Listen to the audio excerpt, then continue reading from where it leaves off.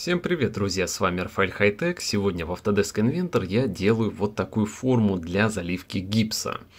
То есть, чтобы внутри залить форму гипсовую. Для того, чтобы у нас получилась вот такая вот клемма.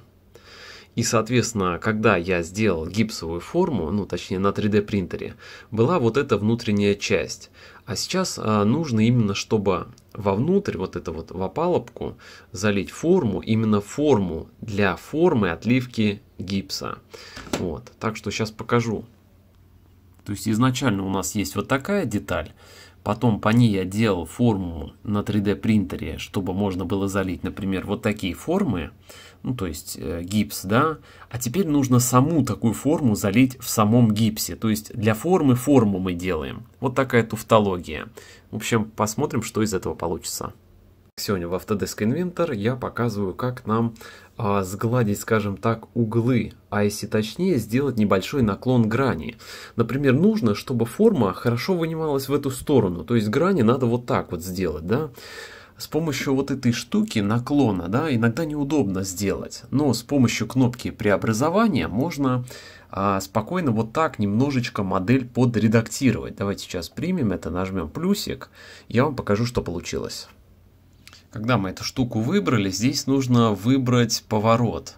А, выбрать нужную грань вот так и повернуть. И, соответственно, мы сделали то, что и хотели. То есть теперь форма будет спокойно вот в этой стороне как бы шире, здесь поуже внизу будет. И, соответственно, мы сделали то, что хотели. Можно также другие грани изменять. Это крайне удобная кнопка преобразования. А вот, друзья, как выглядит это сбоку. Вот эти черточки сбоку наглядный показатель, как будет выниматься форма. То есть выглядит это вот таким образом. Напоминаю, это мы делаем все по-прежнему вот такую вот клемму. А точнее форму для заливки гипса. Специальная, ну как, двойная форма, короче. Форма для формы. Мы делаем форму для формы вот таким образом. Для 3D печати. Так, а теперь идет 3D печать нашей формы для формы гипса. А, опять немножко задирается там. Будем надеяться, что все будет окей. Ну что, дамы и господа, вот так готова у нас выглядит форма для гипсовой формы.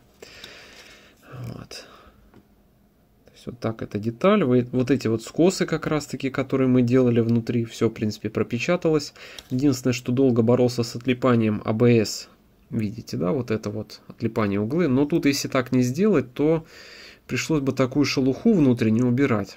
Вот. Но тут тоже свой минус я посмотрел, да, то, что получилось. Немножко нужно повыше бортики сделать.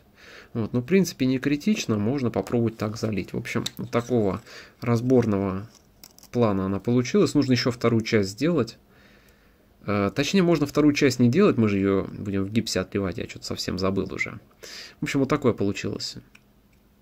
Вот такая форма.